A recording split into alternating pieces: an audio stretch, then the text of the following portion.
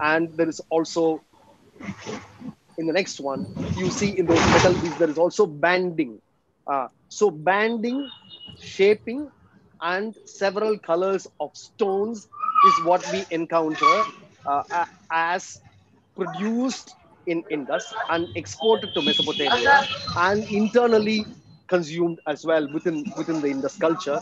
And this is what we get to see. This this this this is closer to how an excavation result would be. Uh, you know, you get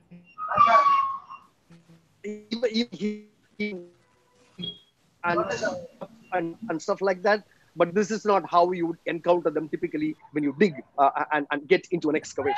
Uh, but, you, but this is to show you uh, all the shapes and sizes and colors and dimensions in which Indus beads are produced today. And this is just a, a, a sample. In fact, this particular sample, uh, I must give you a disclaimer. This is not even from Indus. This is actually from Mesopotamia. And the Mesopotamians not only imported finished goods from Indus, they also imported loose beads from Indus, and they did their own stringing there uh, um, locally, combining other materials that they got from Syria and and and Egypt or wherever else, from Anatolia or wherever else. So this is there is a lot of mixture here. So I want you to be aware of that as well. Um, um, having said that, now I just want to go back and look at each of the three readings that we have so far uh, that is fish as a star. fish as a star, we and looking at the types of fish that we have, there have been readings have been proposed. Fish plus stroke is a rising star. Fish plus a slanting stroke inside it is a falling star. A fish plus ray is a twinkling star. You may ask, why do you need a twinkling star? All stars twinkle, uh, but that's not quite true. Uh, planets do not twinkle. Uh, and I do not know if the Indus people knew the difference between planets and stars, except through this observation that there are these star-like objects that do not twinkle, and there are other stars that twinkle, and therefore there is a category of fish or star which twinkles, and that's why you have the rays.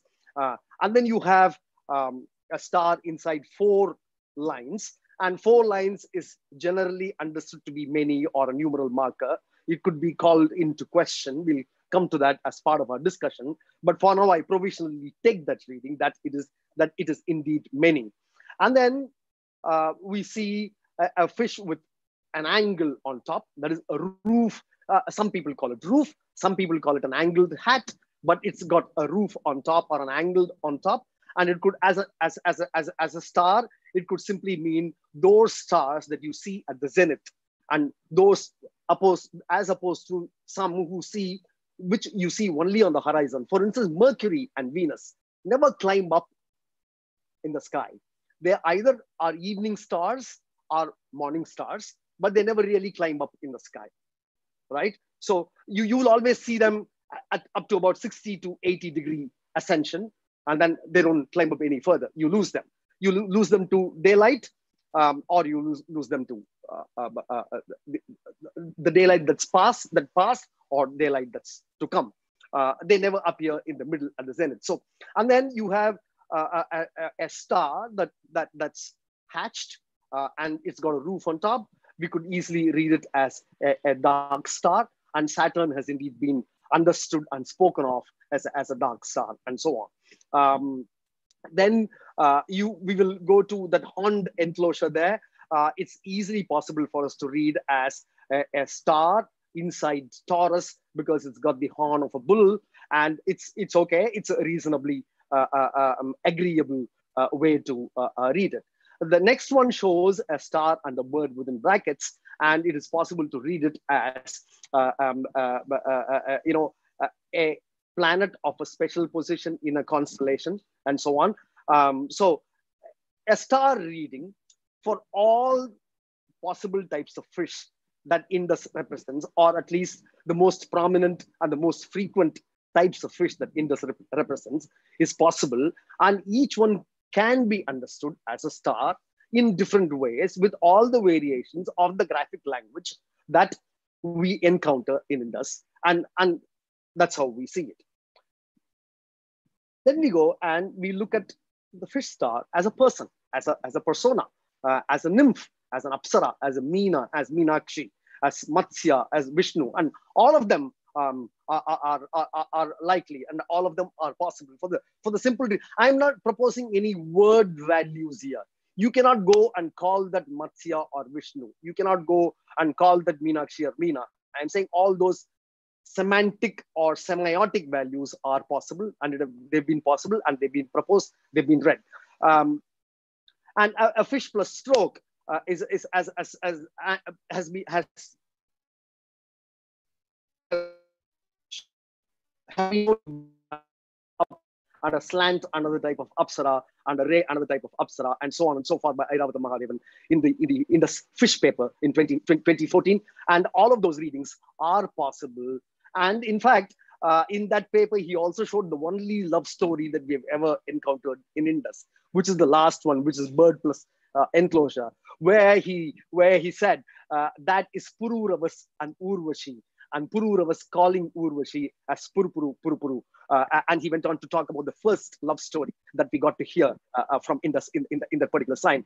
So we have seen the star values, we have seen the person values, and now we will go on to see the objectivist uh, uh, uh, bead values. We look at the bead values and we look at the bead plus stroke and we can say it is the color of dawn or it is the color of the rising star or we say bead plus slant and we say we are looking at the uh, uh, uh, bead and, and in it the color of the night uh, and we look at a, a, a, a, ray and we say we are looking at an iridescent uh, bead which is twinkling shining in all ways and, and we look at the plural marker uh, uh, that the fish is enclosed in, we can easily Uh, uh, uh, say many types of beads as we saw in those necklaces, which had many types of beads in, in, in, in one, one necklace. If you see the angle on top of it, we can say, we can always say it's, it's, it's a bead that's been shaped into an angle by, by the Indus craftsman. if we see a, a, a hatch, we, we, we can always say it's, it's banded fish of the lighter color.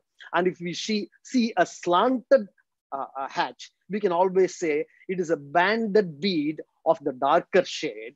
And if we see the next cap, uh, uh, which is here, we can, we can very clearly see evidence of gold capping on top of uh, uh, uh, the bead. And then if we see it in the horned enclosure, we can say it is a bead inlaid in ivory. Uh, uh, uh, and and then if we if we if we see it along with the bird, as Botha has already pointed out, that it is a color qualifier for the bead because it was common to call a bead by the bird color, especially the pigeon color, and so on and so forth. So, so you can, if we go back, so we we can read it as a star, we can read it as a person and we can read it as a beat, apparently with no contradiction. As long as we are careful not to put word values into them, then we get into a fight of which language came first, which language came later, what does this mean, what does that mean. As long as we do not get into that, it is actually possible to read our entire heritage into that. In fact, that's the great thing about Indus. Uh, uh, almost everything any Indian says about Indus is actually likely to be right. The real trouble is putting it into the stacks of history and organizing them by time. And that is where we get into a lot of trouble. And that is where we get into maximum uh, uh, argument. And that is where what is meant to unite us begins to divide us. So if we leave that out and we just look at, you know, uh, uh the ideographic value, uh, uh, the ideographic value can be processed as an idea that they were expressing. And the more and more we look at in the signs, the more and more ideas they communicate to us. And we can understand from that how big these people thought. They always had a very big idea. And they backed that idea and they went with it. And that is really the picture that emerges from that. Uh, I would like to go one step a little more further into, into fish. Uh, sometimes you see a fish and then you see a two-stroke uh, uh, uh modifier. Uh, it's easily possible in the context of the object and if it is found along with the object or on the object itself to easily read it as a fish sign where the two numerals represent a string count. We saw a four string necklace. We, that there could have been an eight string necklace. We could have been, there could have been a seven string necklace. But if we get the object context, okay, then we can easily read. It's a, in, in, in Tamil, we would say, ratta vadam, moonu vadam, nalu vadam, vata. Vata is string. Uh, um, uh, uh, so we can easily read the number of strings. So the, the object oriented or objectivist reading of it is fully validated. Fully validated is a very secure way to understand it. The mythical way where we read the persons, they have to be understood through subsequent literature because we don't have direct literature that comes to us from Indus. So, and, and it is reasonable to assume that this literature always took something from its past. It was not actually giving its present alone, but it also took something from its past. And therefore, we take that and we take all the layers of meaning. And then if we kind of summarize it, what we get is actually the what fish is not en encoding is not Dravidian meen it is encoding a quality of light. It is a photonym. And it is that light that Indus is talking about when it is talking about fish. Why is the light of fish so special? Uh, did Indus people not know of stars? Did they not know the sign for the stars? Did they not know to write it? They knew it. But they chose fish over it.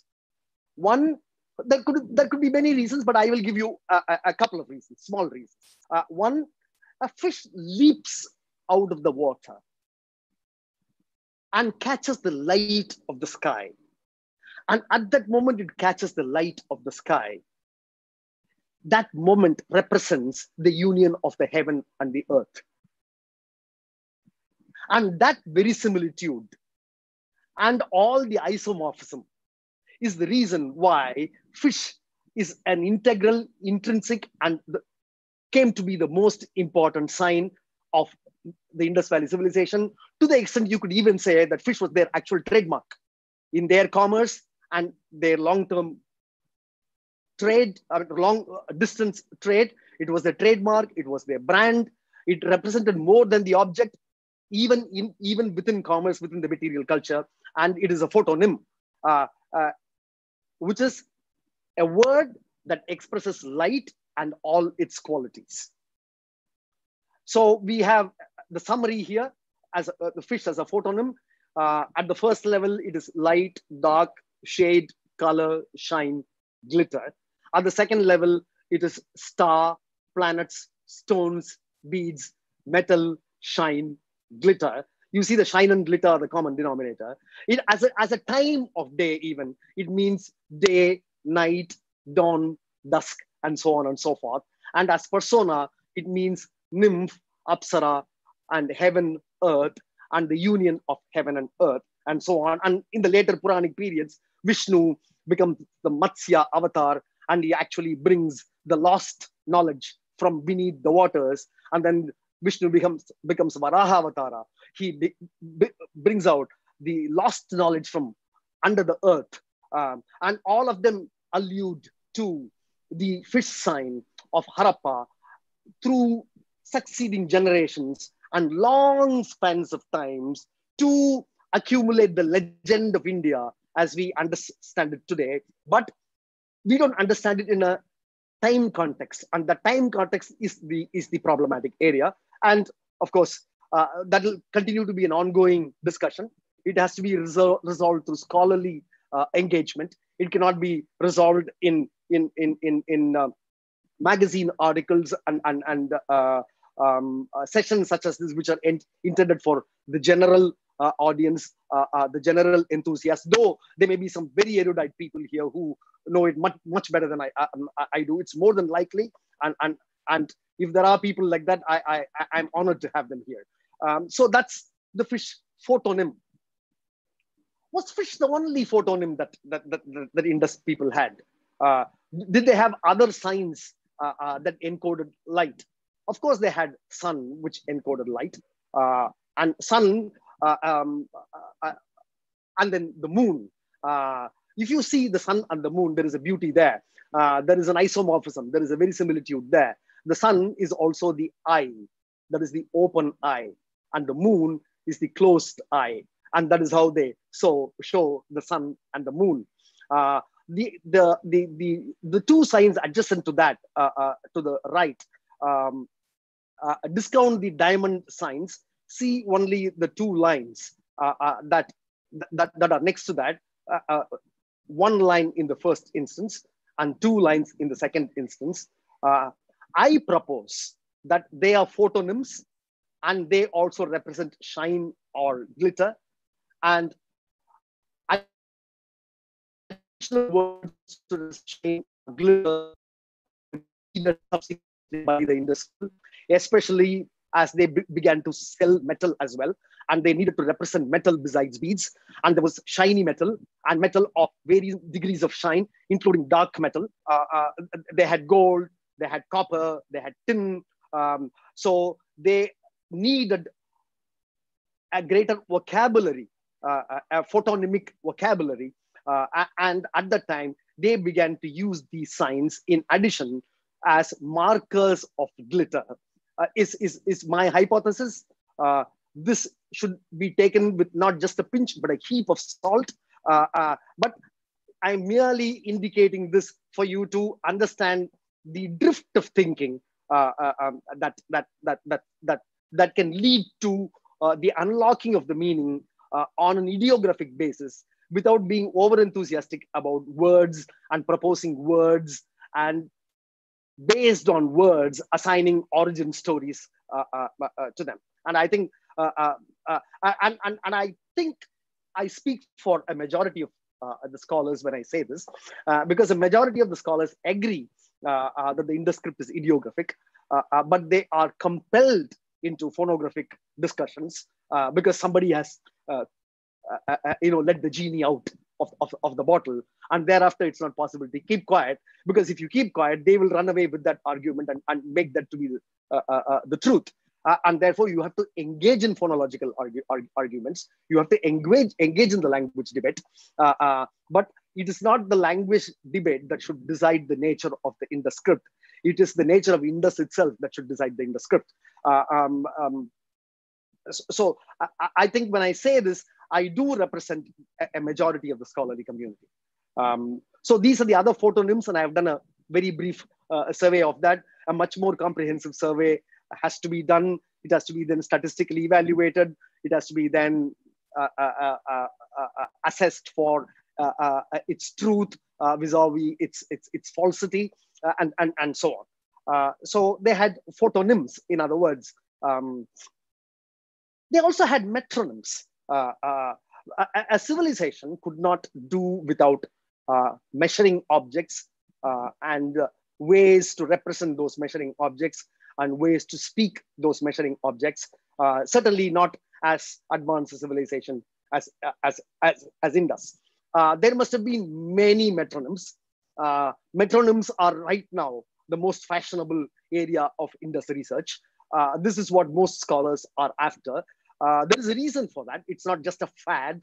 It's just that, you know, uh, we are now seeing uh, a, an advancement in Indus archaeology uh, and the sharing of that archaeology uh, in an unprecedented manner through online videos and websites by archaeologists who otherwise wrote mighty tomes of 8,000 pages and 10,000 pages, who which we could not access. So there has been a constant steady stream of knowledge passed on by the archaeologists, uh, um, all of whom have many videos, uh, especially Kenoyer, uh, uh who has engaged with it uh, uh, in a very deep way for decades together now. They all have several online videos and they keep talking about it. And therefore, the, the, it has become easier for us to understand the material and the artifactual culture of Indus in the present and the present generation of science uh, likes that objectivism and the present generation of science likes to advance objectivism.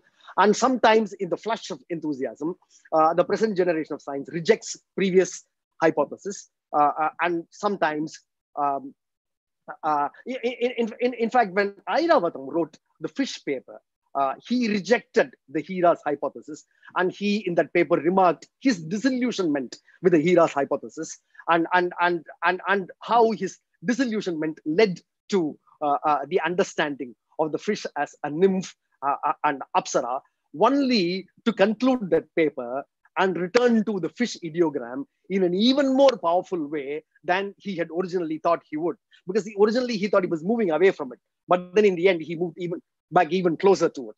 Uh, the same is what I am seeing happening in, in, in, in, in, in these. So they had objects for measure. What is the basic minimum measurement that need about advanced metronyms. I'm not talking about uh, uh, um, uh, uh, uh, uh, you know spectroscopy here, but I'm talking about what is the basic. We need length, we need weight, we need volume, we need time. Without these four, we cannot we cannot we cannot have a civilization at all. Without knowing to express these as qualities as well as quantities, we just cannot go anywhere near constructing a city or making fine jewelry or doing long distance trade or doing accountancy or any kind of relationship, it's impossible to uh, uh, do. Um, just like how uh, in the case of bead and in the case of the fish sign, uh, there was uh, an automorphistic angle to it. Um, in the case of the metronyms also, I was able to then understand uh, an automorphistic uh, angle to it. But in this, in, in, this case, it does not come direct, directly from the base sign. It comes more from a compound sign uh, um, where uh, you see a man with a dot below as a measure of length, which I propose it is. Uh, nobody else as far as I know, proposed it before. Uh, the second one, weight, is dead obvious. Anybody can see that a man is carrying the weight. in the third, the man is carrying a volume represented by the jar on his on his head, and the jar is is, is uh, calibrated. And in the fourth, he is a, a carrier of time. Now, what does this mean? This simply means that the first measure of anything is man himself. Okay, we, uh, for instance, if we look at a palm tree and ask what is the height of this palm tree, they'll say it is seven men tall or 12 men tall or 18 mil tall. Or if you ask the depth of a well, they will say it is three people tall, it is four people tall. That is nalu al aram. Okay, yettu al vayaram, and so on. So we express measurements in terms of ourselves first. It is self-referential. Um, and then only we go around inventing actually objects for uh, uh, uh, uh measurement. So we always use ourselves as the measure, and subsequently our hand became a measure. Subsequently, our feet became measures independently on their own. Our fingers became measures. When we call digital, the word digital comes from here, but we started with our whole. Uh, uh, okay, so a man's height, a man's weight. Even today in Guruvayur, if you go, a man's weight of something is offered to the god. Uh, uh, and, and, and that is how they make offerings to the god a, a, man's volume of maybe oil, uh, of, of till oil or ghee is offered to the god. So it is man's worth of volume and man's time. Time is actually the most important uh, uh, uh um, uh, uh, and, and time has to be understood ahead of everything else, but time is also the subtlest marker and therefore more difficult to understand. Um, and here time has to be understood and it is essential to understand time. It is not only natural to understand, but it is essential to understand time for not us, but for the Indus Valley people, because they have to communicate time not only to themselves, they need to communicate it, communicate it to the Mesopotamians who they were trading with. And Mesopotamians knew to communicate time. They had dynasties. They knew which dynasty, which regnal year of which king, and they knew their entire succession. And then there are these merchants going to uh, uh, you know, you know, Mesopotamia, to the Akkadian Empire, to sell uh, uh, things. And at that time, I, as a merchant, I say I am the seventh generation merchant. So I carry that as a generation marker with me. Okay. So if you see numerals before a man with the arrow sign, uh, okay, I propose that it is a generation marker, and the generation marker was absolutely important and that is how they express themselves to other people. And so when they go to the akkadian empire and sell the beads to the queen the reigning queen they can say you know my forefathers you know brought these precious stones from our land across the seas to your forefathers you know heading back so many generations and so on and so forth. So there is a story that has to be told in terms of time. And it's part of my mercantile identity if not my royal identity because I, I we do not know. Still even after understanding many things we still do not know whether they had a royal lineage or whether they had a kingdom as it were. Uh, but we definitely know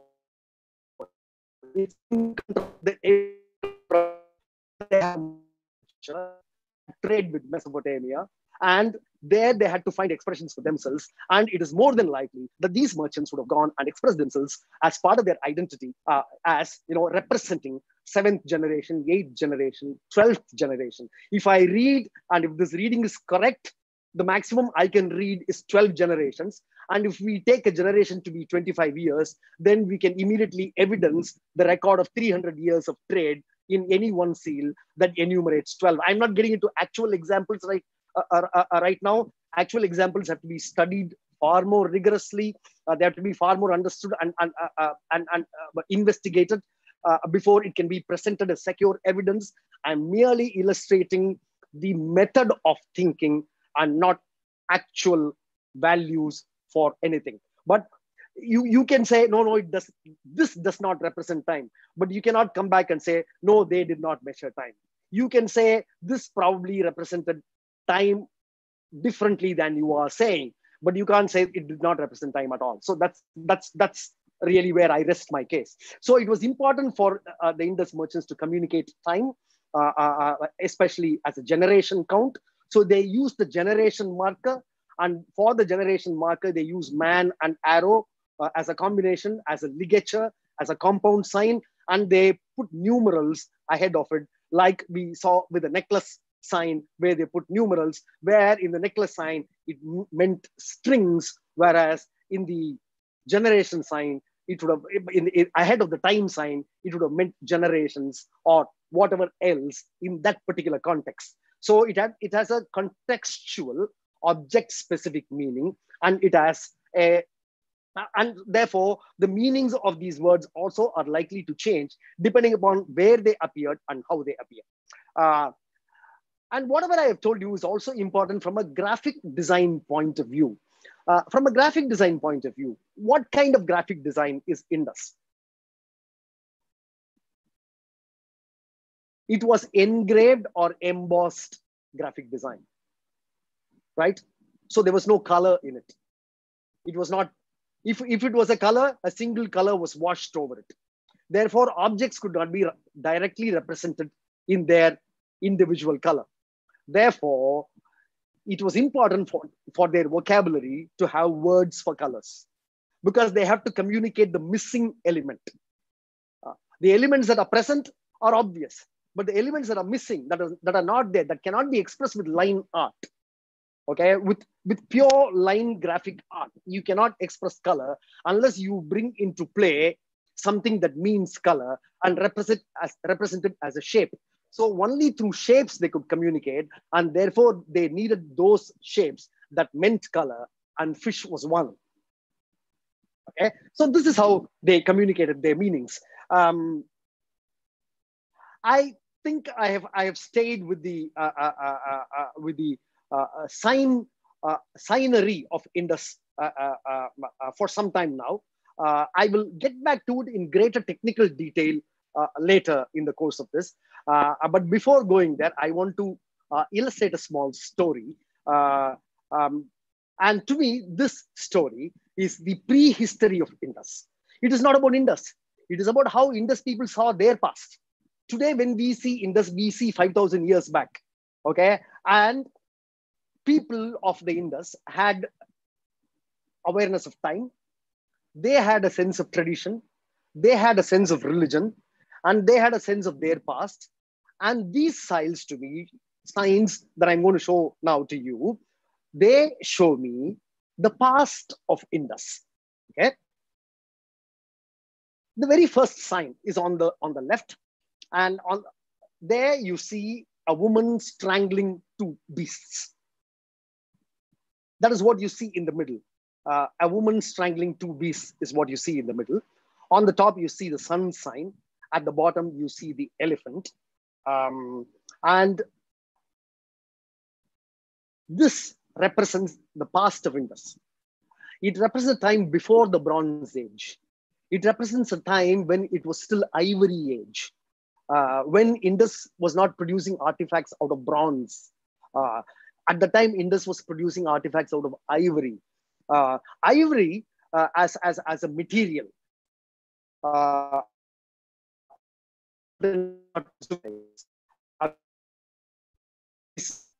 craft is reductive craftsmanship, meaning you scoop out material from, from a block. Uh, whereas pottery, for instance, is additive craftsmanship, where you add material, you take material, you add material, you add material, you add material, and you keep scooping up, and that is pottery. Whereas ivory is reductive material, and it is very malleable to, uh, uh, uh, uh um, you know, pressure and touch and, and, and instruments that you use on them, including stone instruments. You don't need to have metal to work with. You could even work with sharp stones, uh, and it is possible to scroll things on that. So it represents an ivory civilization, ivory age, uh, long before the Indus became a mature Bronze Age civilization. They were an ivory civilization. And then in between, they advanced in pottery, and then they came to metal, and when we speak about the Harappan or the Indus Valley civilization, we largely speak about the Bronze Age civilization. But Indus people spoke about their own past, and in that past, they reveal uh, a different facet. Uh, now, the we, what is interesting about this scene, uh, the sign, apart from that, is a woman strangling two tigers. A woman strangling two tigers, and its oral accounts are not available to us subsequently anywhere. Okay, we have several accounts of men strangling animals. Uh, we have precedents uh, uh, in, in, in, in Mesopotamia from the tales of Gilgamesh uh, uh, of men strangling animals, but we don't see a woman strangling animals. So how do we interpret uh, this? Could it be that? Could it be that that the whole seal does not actually represent a visual narrative, that it actually represents an oral narrative of that period, where the woman is appealing or ordering to the men to go and tame the beasts. It is a speech, it is her act, it is her appeal that is actually encoded uh, uh, in, in, this. Uh, now, you may think it is, it is far fetched, uh, but I will show you subsequently that it is not so far fetched. Uh, uh, with, with that said, let's move to the second sign where you see the man sparing uh, uh, uh, Uh, uh, uh, the beast um, and the sa same man probably sitting there in an asana posture with horned headdress uh, um, a lot of people like to refer to that as yogic posture. I like to refer to it as an asana and not as yogic, uh, mainly because asana is posture. Yogic has to do with breath uh, and, and, so many other things for which we will never find the archaeological evidence. And therefore, uh, I am more comfortable with a term like asana than with uh, uh um, uh, yogic. It is the same man who spares the animal, who you see below with the same horn dress. And this time, all the animals are around him. He is both the friend and the foe of animals.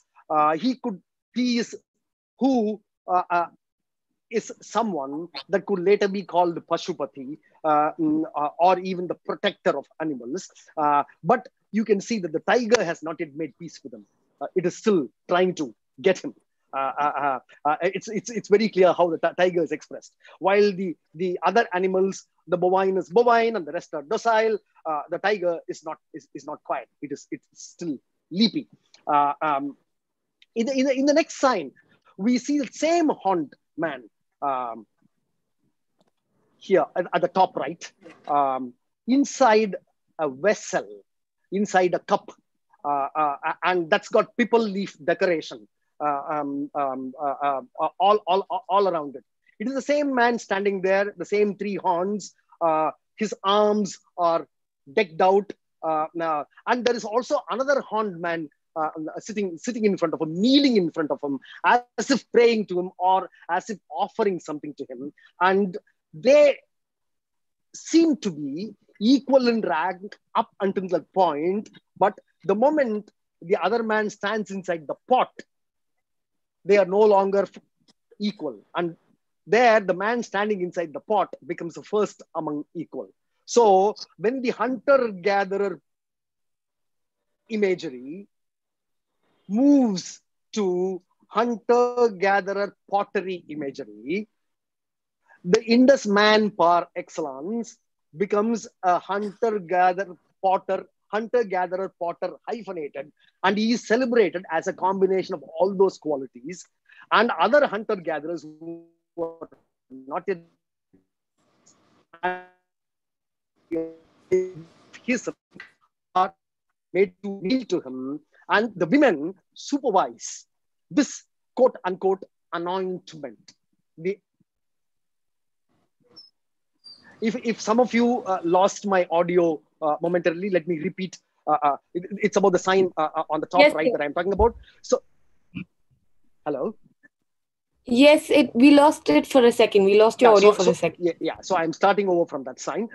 so on that sign, you see a man in, in a horn dress, and you see another man in a horn dress. One is standing inside a cup decorated with triple leaf, and another man is standing inside uh, a, a, a, you could call it a cup or an urn or a vessel or whatever uh, but it's it's it's it's it's shaped to be a, a, some a container it holds something and there is another man kneeling in front uh, so you clearly see the emergence of first among equals and there is a ram there which is very prominent which is probably brought there for sacrifice and this entire scene is supervised and overseen by the seven matriarchs of the time, uh, just like the first one. And you can see normally in, in, in uh, uh, when you want to signify superiority, inferiority, uh, size is one way to play superiority, inferiority. Uh, what is superior, make it very big. What is inferior, make it very small. And here you see the, the man woman play is not superior, inferior in terms of size. They are not, it does not show any superiority, inferiority in rank. In fact, it is still the matriarchs who are proudly calling the shots. And, and then, and then uh, uh, uh, uh, impressed with, with, with, with, with, the, with, the, with the feet of, of, of, of the man, uh, the matriarch invites him to his water chamber. Uh, and their union, which, which is shown in the, in the seal at the bottom right, their union is celebrated every year with the fourth crop, with the crop of the fourth season, is a kind of a uh, an agrarian hunter gathering, pottering, ivorying, and then metallizing civilization that emerges from first principles and its own evidence without superposing from subsequent past any values into it. So this is a narrative that I wanted to show you. And for this narrative, I have individual. So I, I did a little bit of, so this is a fertile ground for conjecture as I say it. So I gave the woman a name, I called her Karu, and then I gave the man a name, I called him Ka. And this is the story of Karu and Ka. And Karu, once upon a time, she was there and she orders the beast to be tamed and brought to her or for peace to be restored. Um, and here, this is the clinching evidence, the one at the top where the man has gone to tame the beast, but he's not sure. He's dodging and he's taunting the beast. He's not sure. He's not plunged into the fight at all. And this seal is occurs many times in, in, in this narrative. And this occurs on the back. The front, which is faded here, is actually another seal that is identical to this. Okay, where the imagery of the woman and the beast have faded, but you can see the imagery of the elephant very, very prominently. The beasts are also prominent here, but the rest of them have faded. So on the same seal, we have the narrative where the woman is holding the beast by its neck and their neck and trying to strangle it. But on the back, it is a woman, it is a man who is actually encountering the beast, not head on. He, he, he, he, he's not taken it. In fact, it's quite humorous. Uh, uh, it's, it's, it's, it's, it's, it's quite a comic relief in, in, in, in all of Indus iconography, where he's sitting there on top of a tree. He's not very sure. He's cagey about it. He doesn't know whether to take the fight, uh, uh, uh, tiger on. Uh, so he stays up there. He dodges it. the tiger is equally suspicious. It's looking back. It's turning over and over the shoulder. Um, and there is a taunt going on. There is a, there is a, there is there is a matchup Uh, uh, um, uh, going on. and eventually he gets the bull. And once he gets the bull, then he befriends all the beasts. Um, uh, but it, I, as I already said, the tiger hasn't apparently forgotten it. Uh, uh, Indus iconographers show this man, Ka, with a horned headdress, sometimes with pipal leaf crowning the horned headdress.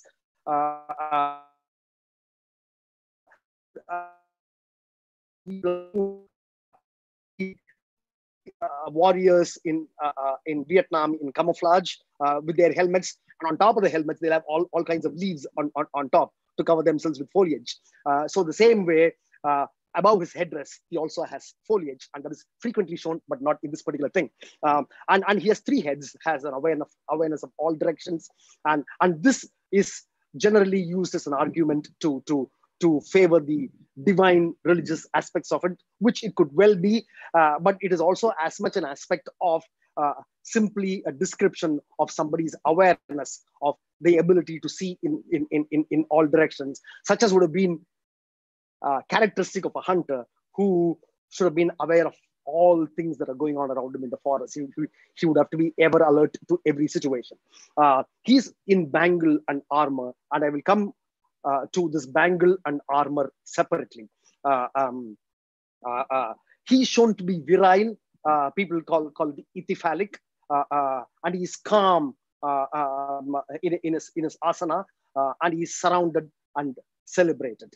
Um, and it is this man who then becomes a potter, um, where the matriarchs see him uh, elevated to his new role, and that role is celebrated. It's anointed.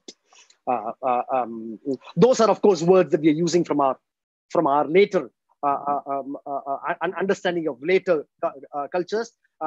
but if you even cut out all the words and just look at it pictorially as a comic strip, which has no captions beneath, and this indeed has no captions beneath. I am the caption right now, but you can see it means that. Um, impressed and charmed, uh, Karu invites Ka to her water chamber, uh, and they unite as Gharial and fish. Uh, and Indus represents their union uh, uh, uh, as Gharial and fish. why Gharial and fish? That's another sub story. I do not want to get into all the details. I want to present from the, from from the beginning that could be glimpsed to uh, the end of the of, of their myth and their proto history that they could glimpse. We, uh, we'll, we'll come to these later. Uh, and Indus people celebrated the union of Karu and Ka every year after the fourth harvest or in the fourth season, where you can see the matriarch. This is very clearly a woman, uh, and you can see four numeral markers, and you can see the crop sign next to it. There could be other meanings here. Uh, I stand to be corrected if uh, other people come up with more plausible meanings or simply dismiss this one saying this this does not have scientific uh, uh, uh validation. I'm more than uh, uh, willing to ac accept it. And here i come to a very important part of the graphic language of of indus. If you look at this sign and i'm going to rewind a little bit now and all the signs and this one and this one not this one uh, yeah, yeah even this one and this one there is one element common to all this. And that element is the serration that is happening here. You see this?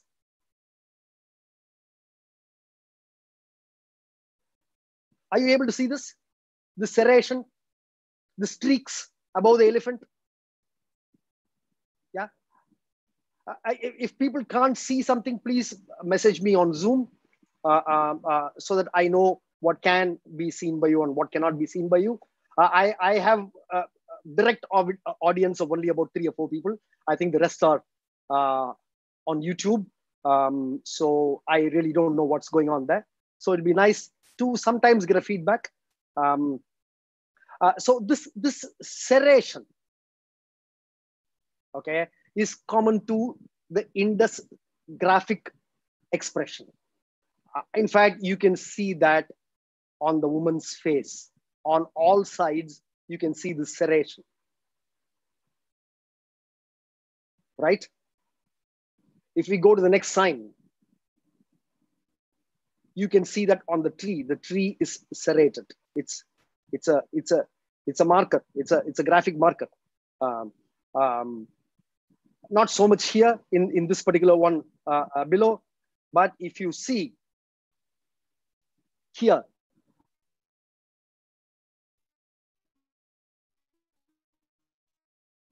long arms and bangles are serrated. In fact, you will see it more pronounced in certain other uh, uh, examples of the of the so-called Pashupati seal, uh, uh, more prominently than here. And you will also see that here on all the women, on their hands, on their headdress, um, and on the man's hands, and on his headdress, uh, you will see the serration as part of the graphic identity of Indus and as part of its iconography. I understood why, I understood how. Uh, if I were to tell an artist today uh, uh, that it should be put, uh, I, I know I, I know what I would ask him. Uh, he's drawing for me, an illustrator, and I'm moralizing what I want. I want a picture of an elephant, and he finishes the picture of the outline of an elephant for me, and I tell him uh, to put these strokes on top. And I know exactly what I will tell for these strokes on top. I know I'll say, hey, put a tooth there. Pallu tooth, tooth, put a tooth here, put a tooth here, put a tooth here, put a tooth here. Repeat the tooth. The repetition of tooth is a graphic identity of Indus. Now, speaking of tooth, uh, probably this is an appropriate time for me to uh, request uh, uh Bahata to come uh, on camera. Uh, um, and for me to do a, a, a proper introduction and hand over Uh, uh, uh, a few minutes to her, and then do whatever I can with the time that is left. Bahata, are you there?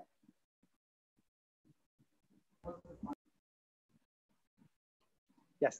Uh, recently, most recently, uh, uh, as recently as in August this year, uh, published a paper uh, on the tooth word of Indus.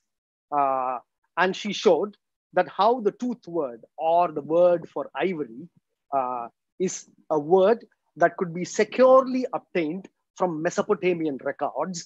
And this is the first time that we securely obtain a Dravidian word from Mesopotamian records with archaeological basis. Even meen, when it was proposed, it was proposed linguistically, it was not proposed archaeologically. And meen has endured 70 years. But this is actually the first time that somebody has proposed a word based on secure archaeological evidence.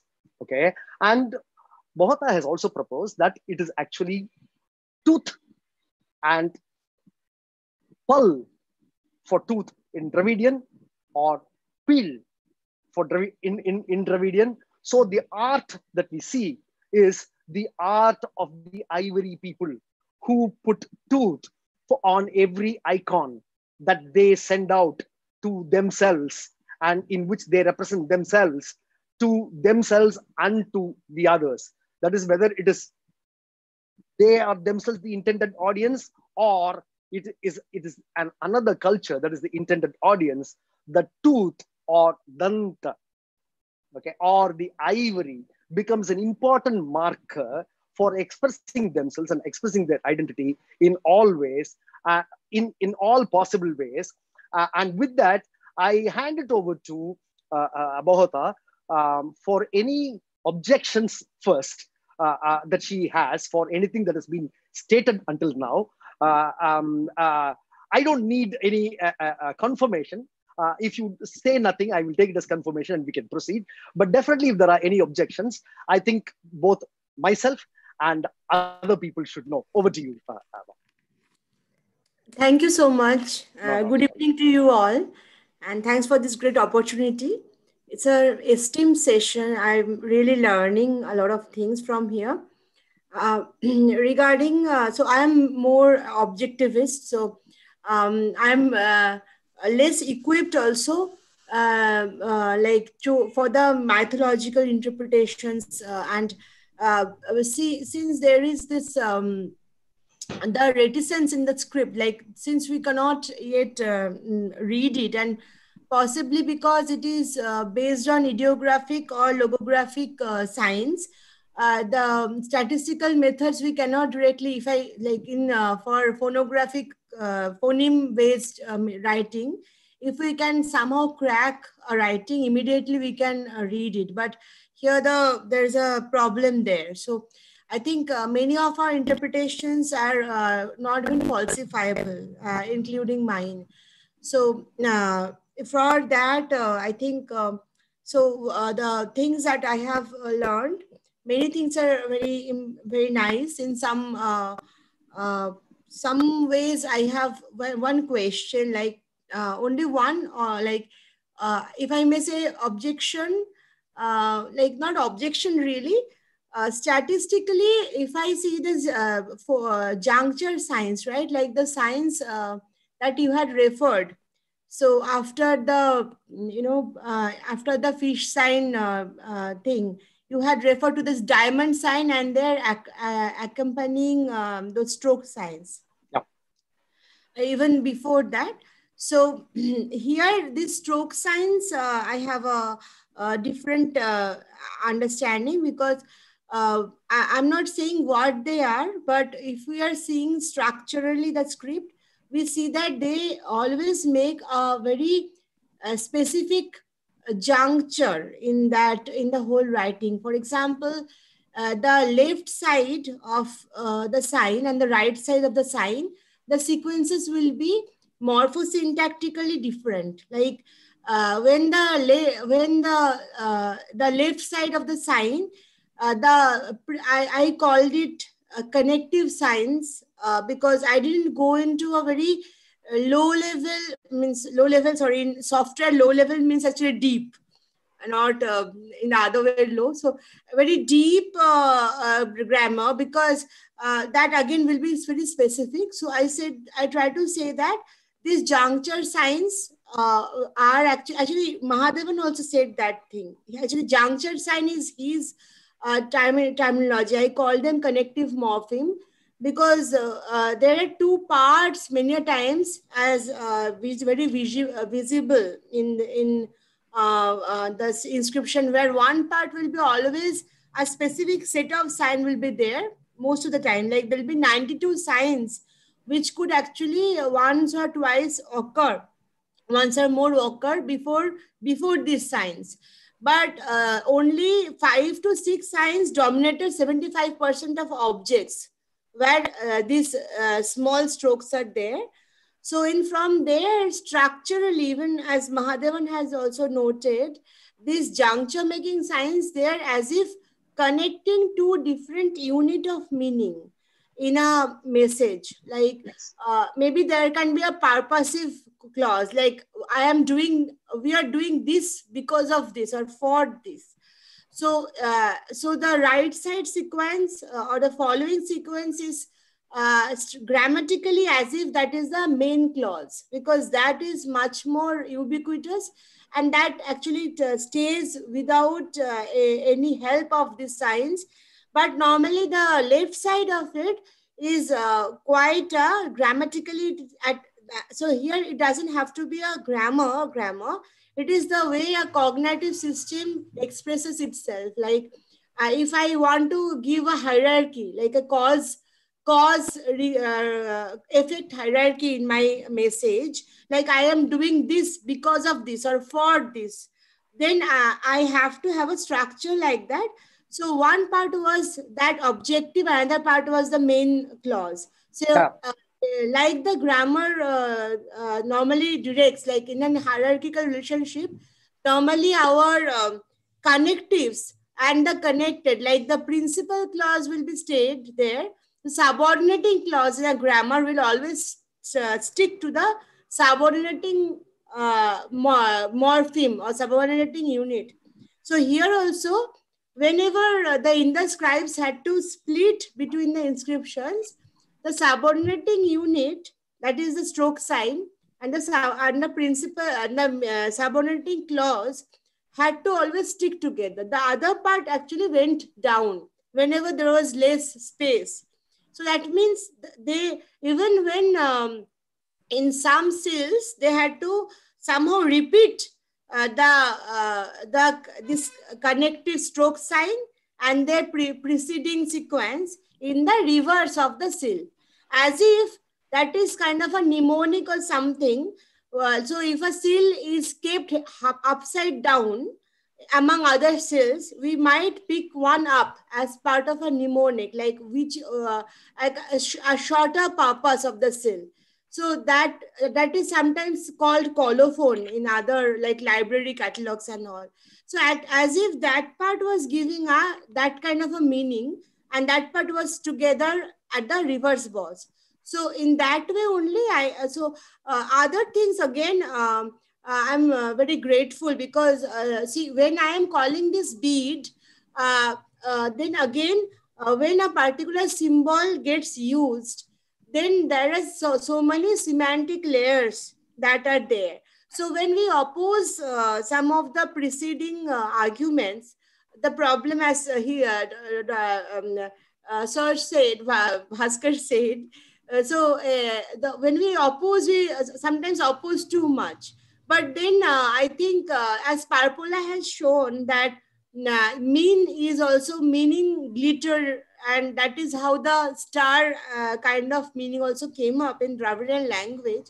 So then uh, I had uh, actually tried to, I actually I am again very materialistic. So when I in Mesopotamia um, civilization, and they call these beads fisheye beads. And there is a very important uh, counter witchcraft uh, thing that Kenoyer had also discussed that why eye beads were getting so popular, that uh, this whole drishti or nazar lagjana or like this evil eye concept, that was, uh, so that was a very prevailing concept and people had always tried to uh, have a counter effect of the evil eye so uh, Indus Valley was actually exporting. Please just stop me because I might not have so much time. I should not have so much time actually. So please stop me when uh, I exceed my. Please go time. on. Take as much time as you need, please. Uh, so uh, so this counter witchcraft thing is like archaeologically when they see uh, uh, in Mesopotamia and even in Egypt, lapis lazuli and all these are extremely coveted. So at a point of time, possibly Indus Valley was using it less for themselves uh, and exporting it more through Persian Gulf and all. So uh, this uh, eyes, eye bid kind of um, this eye, that is the somebody is seeing you, that is a counter witchcraft effect that we always have in very place, many places, and even in Turkey we have a uh, eye, eye bead uh, symbol that is called nazar beads that are really like uh, even popular today. In amazon you can actually buy nazar beads a lot. So uh-huh. this was very much uh, uh, exported from uh, indus valley. And uh, if that is true then this when uh, in mesopotamia they are calling is fisheye bead they're also calling some of the, the other beads like snake eye bead and all but fisheye bead is the most prevalent name. Like there are minute, uh, you know, uh, uh, again segregation. And then there is a text called Horra Hubulu in Mesopotamia, where they actually try to uh, educate their um, uh, their scribes how to write different uh, seals and all. So there they show that if a particular uh, uh, bead is looking like a snake eye, uh, please uh, uh, name it snake eye stone. If it is fish eye, name it as fish eye stone. So this Hara Hubulu uh, thing is actually giving all this naming nomenclature based things. And then uh, uh, archaeologist Carter, she has actually shown that for this fish eye bead, whereas the lexical uh, textual evidence comes from Mesopotamia first because we have we could get them. Possibly we have lost our perishable writing on some perishable material. We don't have them anymore, but uh, uh, only in the script is remaining. It is the non-perishable uh, script possibly. But now uh, here, Hara Hobolo is giving the name nomenclature type and Mesopotamians are calling it fisheye bead and they're getting it from Meluhha and again from Magan that brings it from Indus Valley for sure. Carnel, carnelian beads, agate beads, banded agate. Now they are getting it from uh, Lothal for the first time archaeologically. And uh, so that is the reason I said that possibly fisheye bead will be the reason, uh, name. And uh, uh, so, but again, it is really great to know, see that where if the symbol is used, that will be one reason. Again, because glitter, shine, this has this kind of values also. So that means they had a semiotic relationship. So that made them use this symbol in various level. So again, th that is a great thing to again again know because from Parpola we have known that but again because Parpola was giving these uh, very specific mini uh, word values like vitamin and he was saying that these are names of trade uh, traders uh, and that was again a phonological perspective which i uh, i uh, would with due respect try to oppose.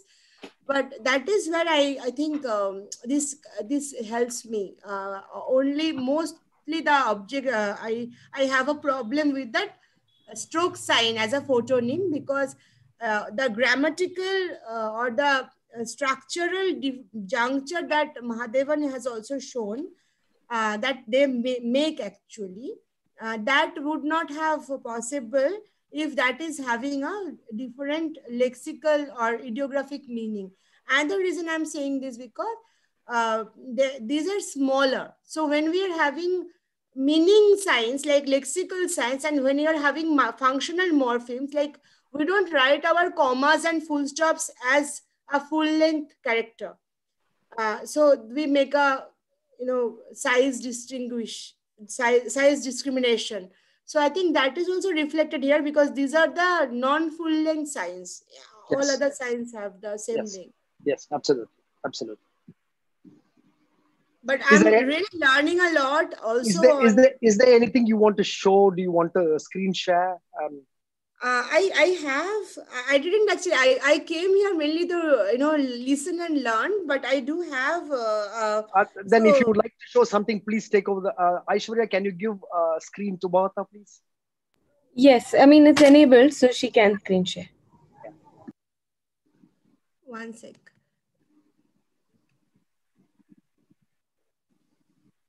Uh, but I'm I'm taking time. So, uh, sir, would I would I keep keep this ready so that uh, when we also listen to you? After... Absolutely, absolutely, all right, absolutely, all right. Okay. okay. So let me go back to uh, uh, my screen share and my presentation and continue the narrative and stop me whenever you are ready, and we can get back into this. Okay. Thank you, sir. So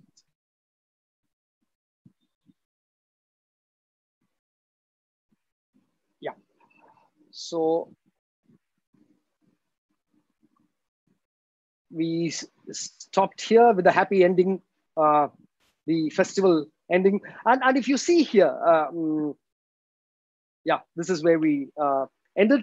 Uh, so it is between Puja and Diwali uh, uh, right now. So uh, it, it's, it's kind of auspicious and, and, and, and, and kind of appropriate in that context. having said that, I will now move into a more technical part of this discussion, which is really Indus typography. Um, considerable amount of work has gone into Indus in the last hundred years, uh, um, into into making uh, uh corpus, uh, uh, making, classifying, organizing, indexing, cataloging, producing concurrences, texts, and so on and so forth. Uh, uh, uh, uh but it has never a, a, a, typographic perspective perspective has never really been um, attempted. Uh, a, a, design motive study has been done uh, Uh, uh, by Mayank Vahia and uh, Nisha Yadav, where they have split all of these into components and express them as components. But a type of when we do typography, the first thing that we do with typography is this. We marked these two parallel lines that you see here and mark the direction of writing, which in this case is right to left, and therefore the arrow is pointing left. But what we have done is we have put a, a, a, parallel bar, like in a music, Western music notation sheet, or even in an Indian music notation sheet. So you put the baseline character, which is the full size, right in the middle, and that fix the height, and the height will thereafter become invariant for every sign.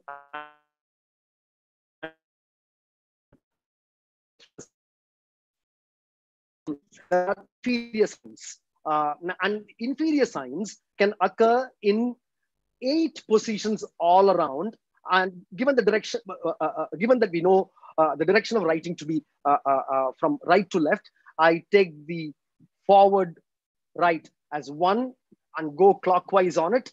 So I go one, two, three, four, five, six, seven, eight.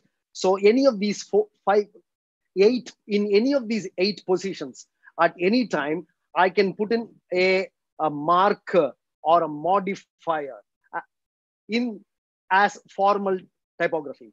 Now, if you look at, if, if you look at the interesting part is there is a sign here and then there are the modifiers here in an inferior size.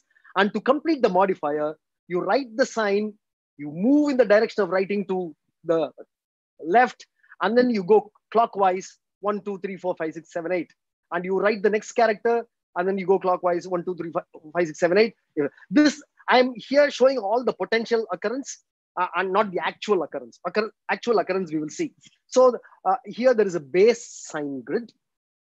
There is an inferior sign register which is upper, middle, lower, and then there is an inferior sign column, which is a leading column which appears before the base sign. And uh, there is in, in uh, a trailing column that appears before the base sign and a leading column that appear, appears after the base sign. Uh, uh, okay, so this is the potential arrangement of an indus sign. Uh, and I'm not talking ligatures here. I am talking about basically, I'm, I'm the scribe. I'm going to write it. Uh, I I am probably literate in, in with, with, the with the with the signery of Indus, or I'm simply a craftsman. I'm not even literate. I have to do the line work. Uh, I have to carve it into steatite.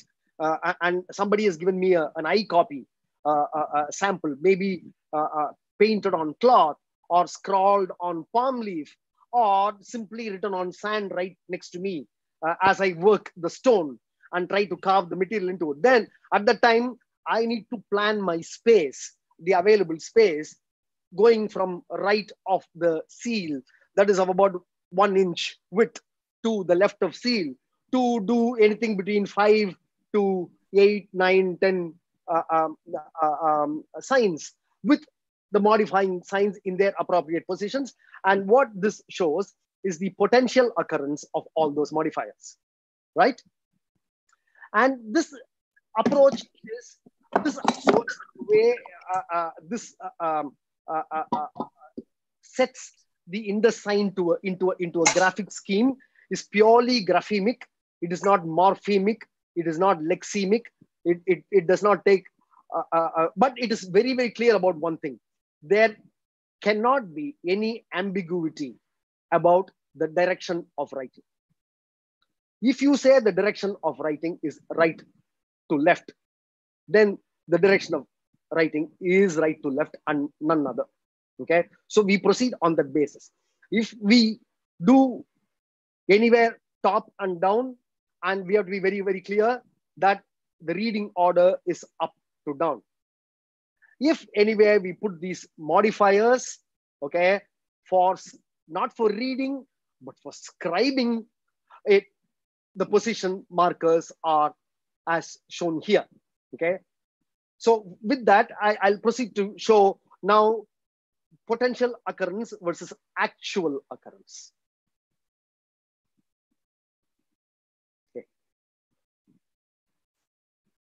So if you look at the position of an inferior sign by register, uh, the in the bottom register, what is on either side, it does not occur at all. It just does not occur. And therefore, it's always blank. Therefore, while there are eight potential positions, there are only six actual positions. The other two, they ignore. The scribes ignore. Or even the people who pass the instructions, the people who know uh, uh, the language and who uh, know the script and who pass the instructions, they are very clear that those two positions in the grid will be left vacant and nothing will be written in there. Okay, so that is an implicit understanding uh, that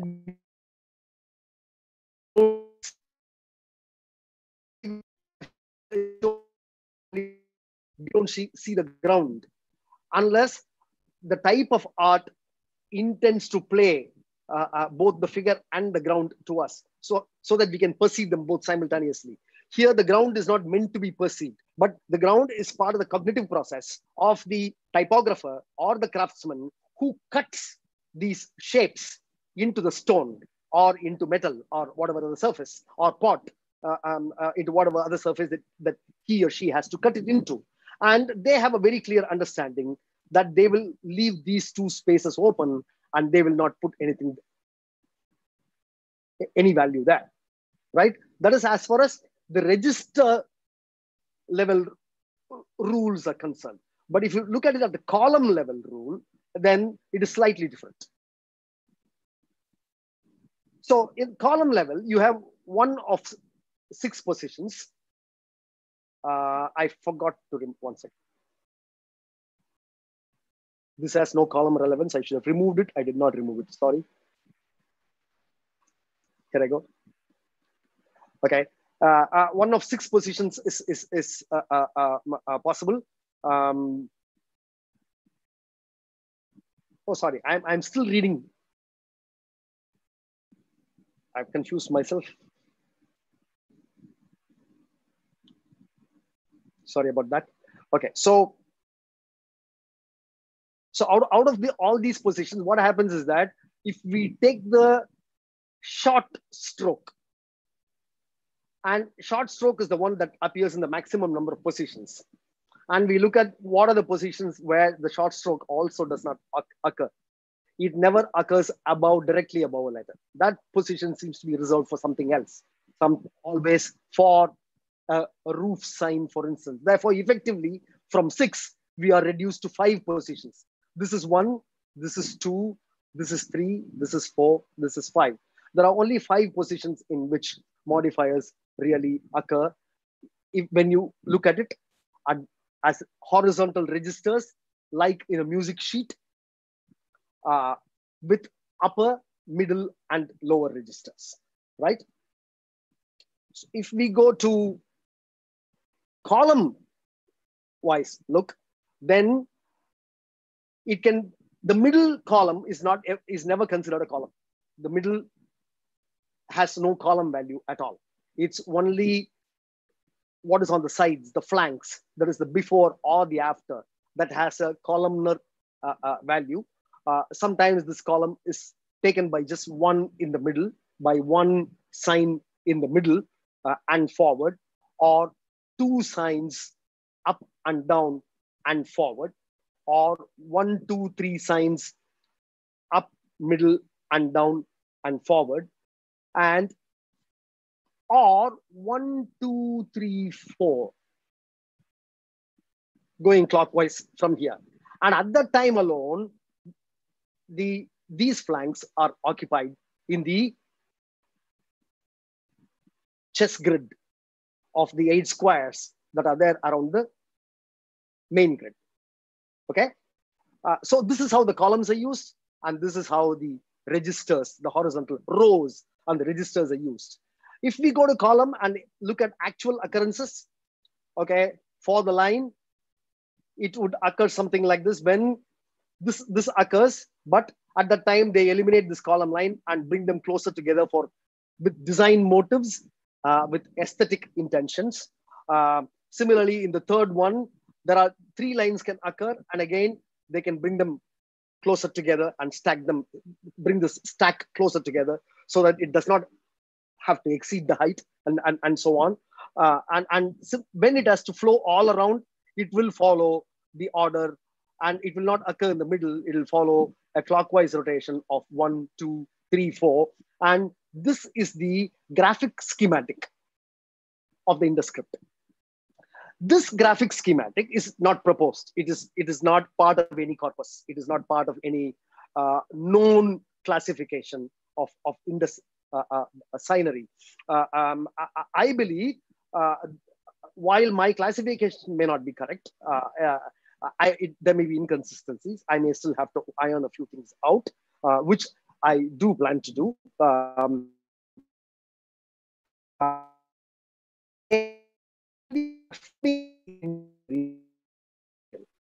the Indus corpuses do not have a graphemic inventory. So when Mahota, for instance, uh, uh, is doing a statistical analysis, she is doing it on a morphemic inventory, a morphemic corpus, in which certain signs are clustered uh, together as a single sign uh, by the logic of the morpheme. Uh, whereas if you look at it by the logic of the grapheme, uh, those can be abstracted and taken out. For instance, the hat roof sign occurs over five different primary in the signs. But in each instance, the hat sign is taken by all the corpuses and all the classifications as a morphemic wedded sign. But if you actually take it out and take it as a graphemic unit, okay, and do the analysis based on that, chances are the graphemic inventory will show greater consistency and less violative of entropy that IndusScript has been reported to be uh, by various other analysis. Because uh, if you put it in layperson's language, what is entropy violation? When you violate time, when you violate the arrow of time, when like when you violate direction, uh, you are violating entropy. And all the Indus corpora that I can see now, I don't know, I have not seen the Finnish corpora, uh, corpus. I have not seen the Wells corpus. Uh, uh, uh, maybe they have sorted these things out, and I don't know. I've, I've been trying to see the Wells corpus for more than a couple of months now. It doesn't load. I think I should write to the administrators and get an access to it. but a, a pure graphemic inventory is not available, and it is my belief that if a graphemic inventory is done, some more redundancies can be eliminated. Uh, Mahota had shown in another paper of uh, how uh, the proposed signs of 417 by Mahadevan can actually be abstracted to 254. Uh, um, uh, um, uh, which is a substantial reduction. Whereas Bryan Wells corpus goes from 417 to 676, if I am right. If uh, uh, um, so, so you have varying numbers and varying distributions, varying interpretations, and varying morphemic um, clustering. And if you take it out of the morphemic compulsions and look at it purely graphemically, then chances are the Indus script will produce a better, will, will yield to and start informing more and responding more to statistical analysis than it does now currently is, is, is, is, is my submission. That, that's why I'm, I'm, I'm, I'm working on the scheme uh, that I'm working on. Yes, please go ahead. Do you mean to ask a question, Bahata? Okay, so I shall go forward. Uh, participants can unmute themselves uh, now. I've disabled the function. Yeah. With that said, there is a lot more work to be done in this area. Okay. I just began the classification and I think I'm getting somewhere. I need to go. But in the meantime, as a, as a person trying to interpret it, I want to express my but my bewilderment in, in, in interpreting uh, uh, uh that and uh, also to try and share how the bewilderment is also shared by our ancient past. Uh, um, okay, so we begin all over again with the line. Um, and I call it indices in, in one stroke. And let's call it one. it this one line it can it occurs before it occurs after it occurs above it occurs below or in the middle and smaller it occurs all around. It occurs in the known direction of writing right to left or against it right?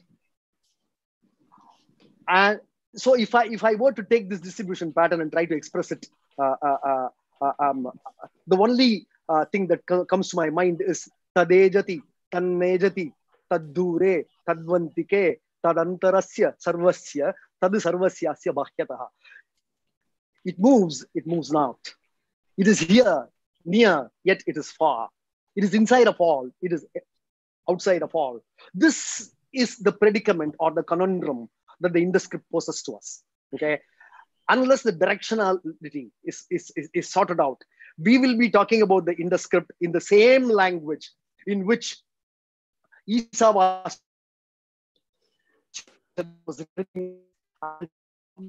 written by looking at the, the lines expressed uh, uh, uh, by its own past and, and, and, and, and, and so on and so forth. So this is, is, is, is, is, is how I, I uh, see it.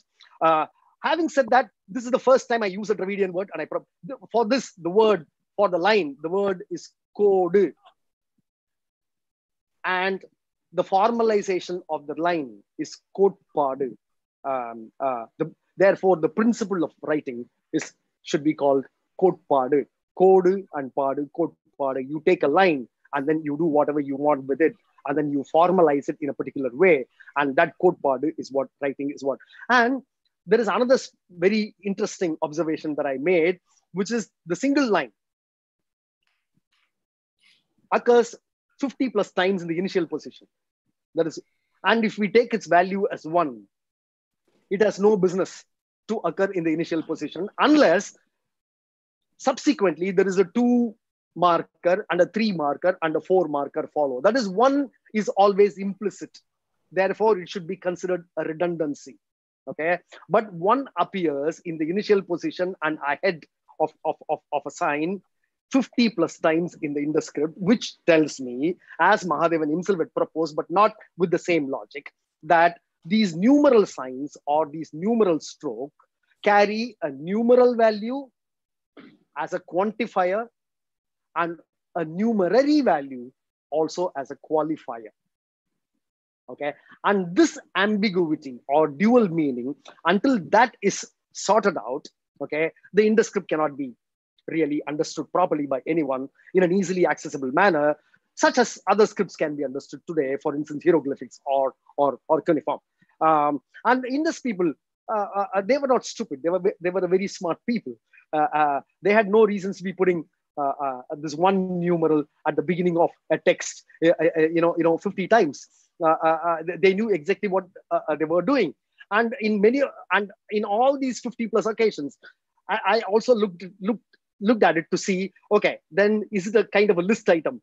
one something, two pearls, three elephants, four boxes. No, it's not.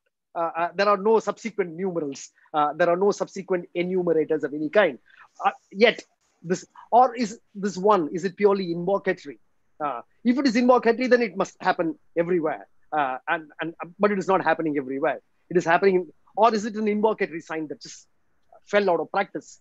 We don't know. But if it was a numeral, to put it in the beginning would be quite stupid and quite redundant and quite implicit, such as those, these people did not have to do but these people constantly did it for a reason that they understood, which we do not, which, and the reason, the only plausible reason that has been suggested for that is by Mahadevan in his, in his paper, again, the 1986 paper, uh, which I think needs revising based on a graphemic inventory, uh, uh, not through morphemic suffixes.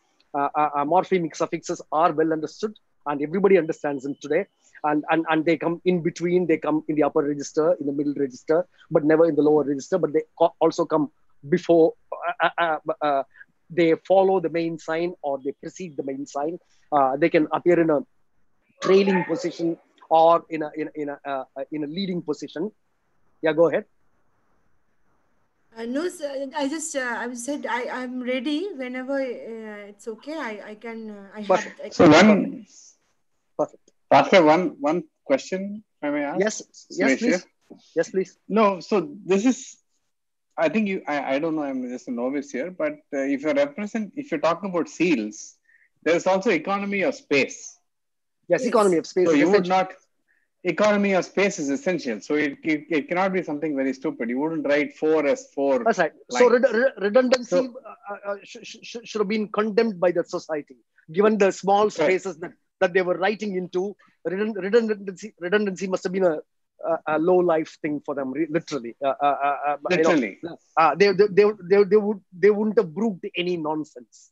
Uh, they were Any writing- nonsense. So, Yeah, yeah. So, so your point that this cannot be numeral uh, is quite logical because it, it cannot come in a seal like this. Thank you. Uh, um, um, So here I uh, Yeah. have. Uh, so again, uh, these conjectures are not neither falsifiable nor verifiable on my part as well. But um, uh, I think in a seal, so uh, when we so uh, in a seal or tablet, when say all the seals and tablets were actually talking about mostly the same thing, like same uh, topic actually. Means uh, other than one or two very big uh, well, rectangular ones where a typical uh, thing was there and that was also found from grave which is very unlikely otherwise. Normally that is not found. Indus valley seals are already found in very commercial contexts so i think uh, here there was uh, there is uh, two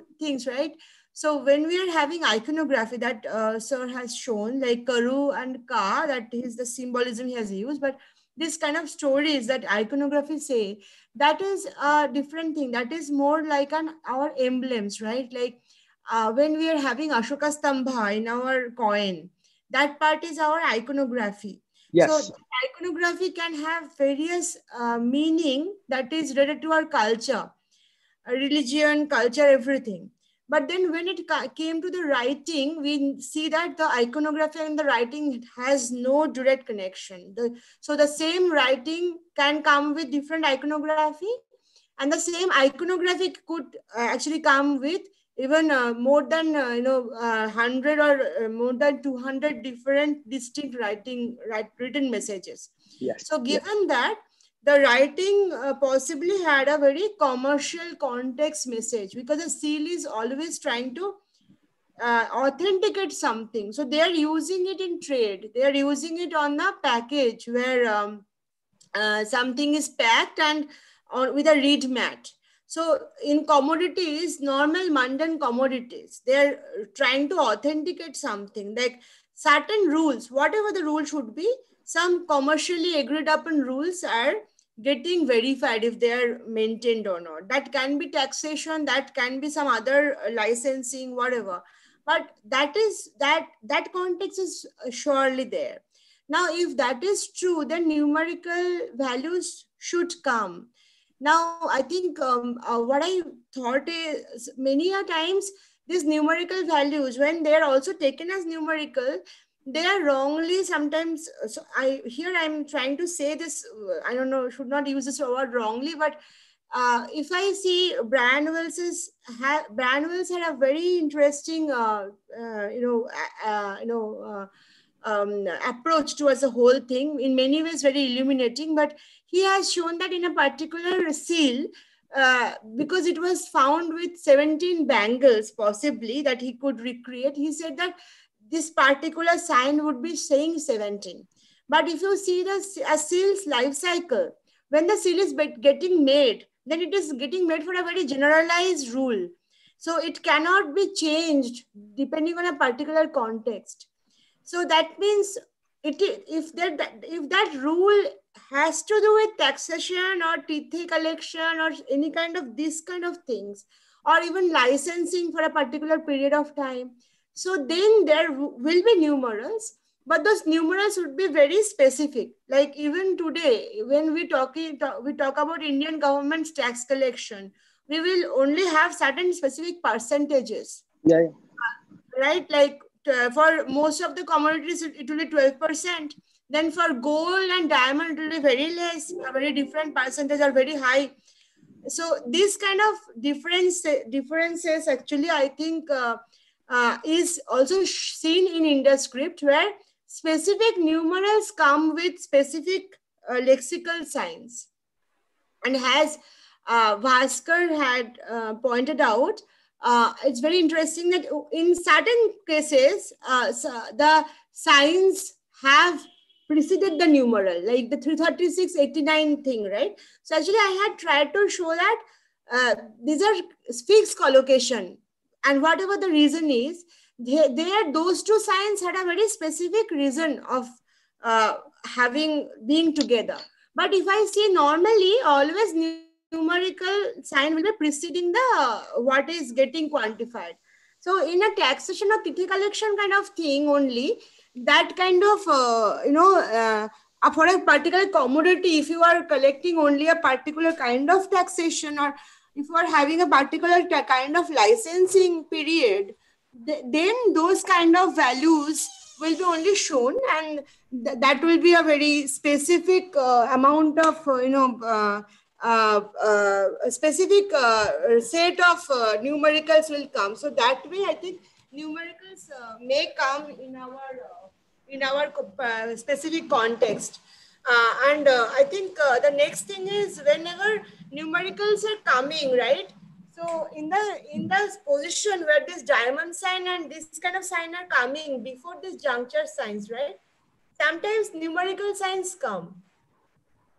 So in if at all these numericals were tax, tax specific numericals, if at all, then there is a very interesting metonymy that we have.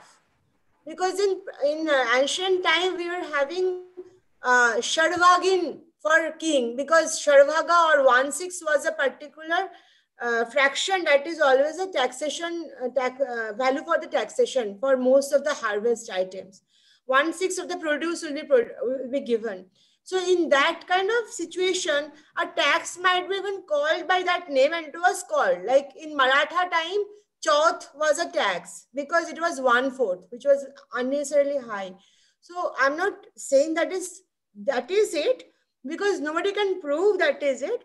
But when we have this kind of a, uh, so I think I don't know. Whenever we give we give up any uh, conjecture in this case, I think one thing uh, uh, I would uh, uh really appreciate is whenever the conjectures are always applicable to the whole. So uh, uh, none of us know that whose conjectures are right and wrong. But when I see that certain in some places, if I'm calling that okay, these signs are used for this purpose, then if if all the cells are having the similar sequences, then we cannot then drift back to a different uh, purpose. Like we cannot drift back between materialistic and spiritualistic uh, meanings for different signs. Thus, the particular grapheme can be chosen because of a particular uh, symbolism. That is the grapheme that is chosen.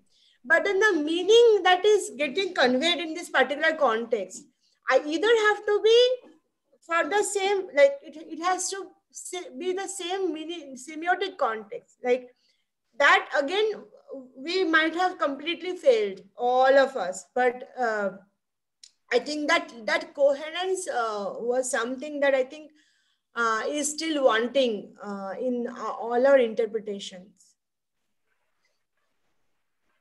So, which which is why I actually started with this map, uh, and it shows that Indus Indus literacy uh, was why it was necessary. You see, uh, in Indus sits somewhere here, and it travels 3,450 kilometers west. Okay.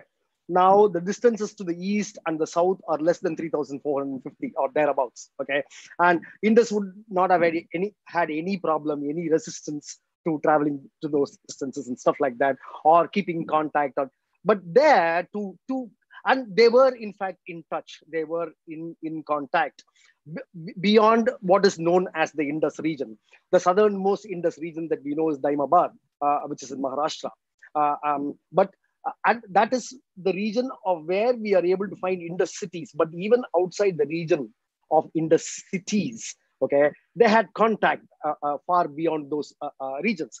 But in those regions, they did not need writing. They were able to communicate without writing. It did not have to be produced for that purpose. The writing had to be produced specifically for commerce with Mesopotamia, for people, for non natives who will not understand our language. And therefore, it had to be graphically expressed and it had to be expressed as precisely and numerically as possible as something like description, quantity, um, uh, uh, carrier number, and so on and so forth. And, and Indus people largely chose to write for that purpose, one, and second, for internal administration purposes, for the con for the confederacy, if I may call that word. These days, it has very ugly connotations. Uh, uh, uh, uh but despite that, if I can take the liberty to use that word, uh, there were several Indus cities and several uh, and meet everyone then and to decisions, certain, certain standards, make some common conventions uh, make them work to make those announcements, to record the, the conclusions of those quote unquote minutes of the meeting. Uh, these are the two purposes for which they would have needed writing largely. For other purposes, they could do without writing. They were quite successfully doing it without it. They were able to communicate among themselves to the natives equally, uh, uh, uh easily, regardless of the linguistic diversity of the time, which was very vast. But the linguistic diversity was within two language families, not three, as it became later. Uh, okay, the linguistic di- diversity was Dravidian Munda uh, um, uh, um, at, at, that time, and prob Indo-Aryan was a little later. If, of course, all this can be contested. Uh, um, but if you were to look at it, while the language families were reasonably united, within the language family, there would have been more species of languages than we see now in the present day.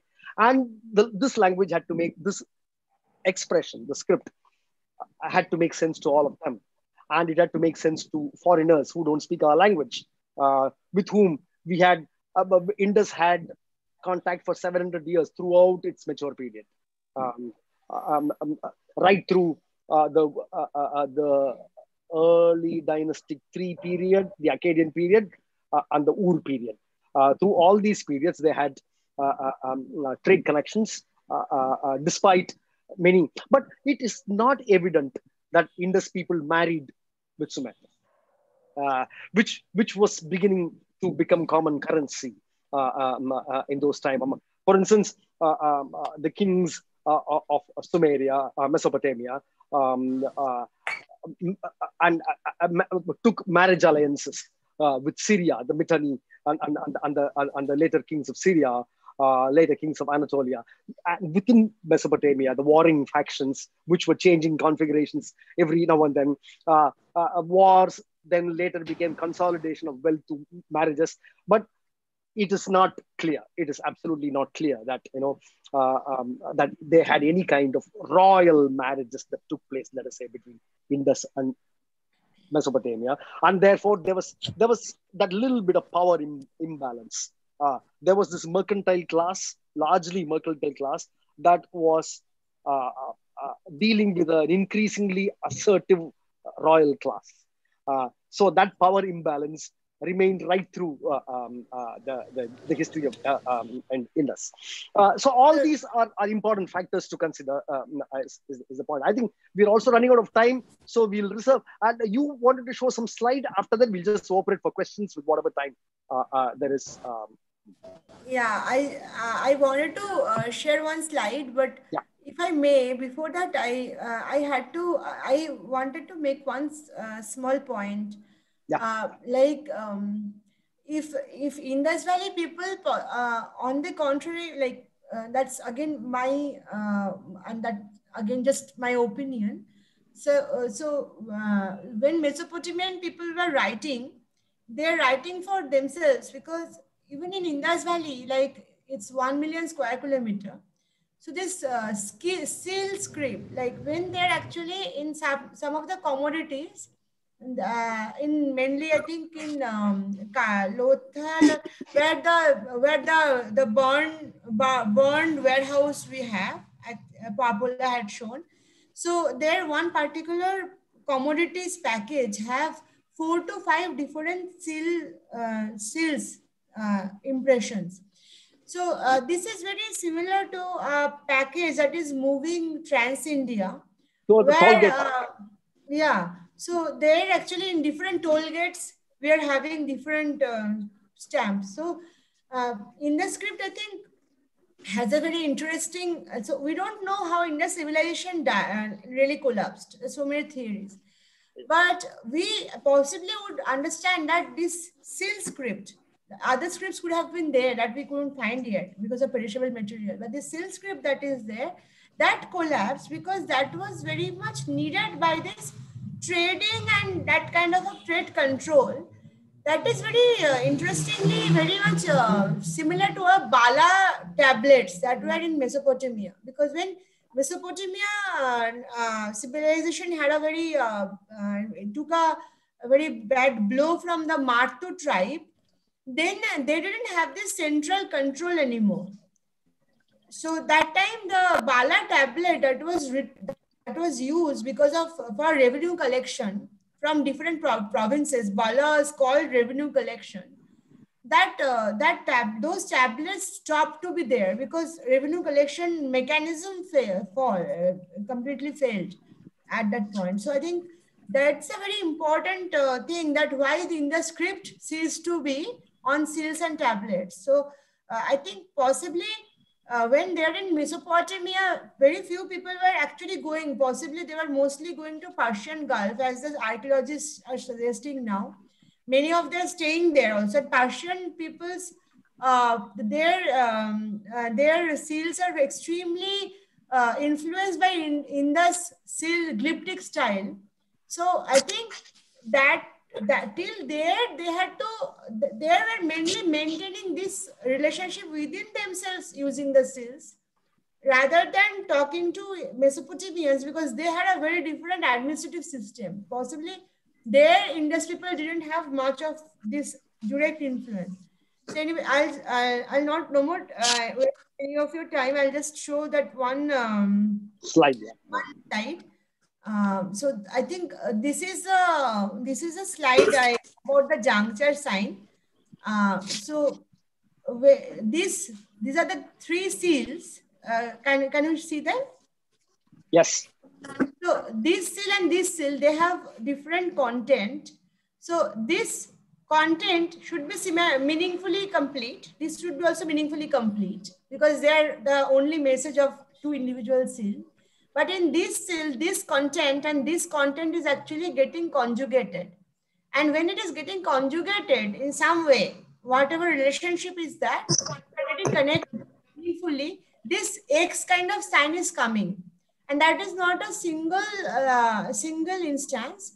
There are many instances where we can directly show that the messages of two different seals which are meaningfully complete units are getting actually uh, united in another seal in a very specific way because no, it is just not an agglutinative in uh, conjugation where uh, because uh, when it will be getting conjugated, the preceding sequence won't have the terminal sign most of the time. Yeah. But the sequence will have the terminal sign. That means there is a very specific type of phrase structure that is getting here and then it becomes evident.